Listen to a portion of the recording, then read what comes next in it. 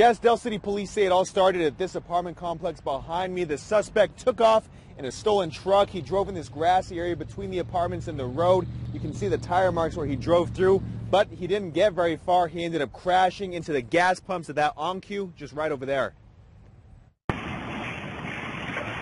A ball of flames and lots of smoke at the OnCue on Southeast 29th and Sooner Road.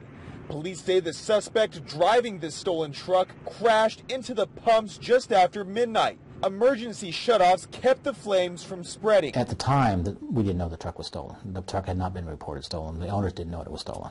Before the fiery crash, Del City police received a noise complaint at these nearby apartments, saying someone was banging on a truck outside.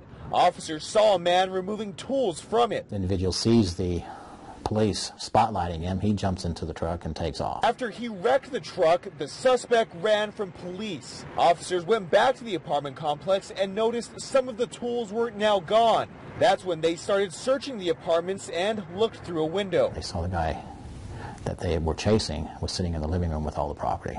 He had still had bloody hands and bloody face from the accident. Officers said they had to use a taser to make the arrest.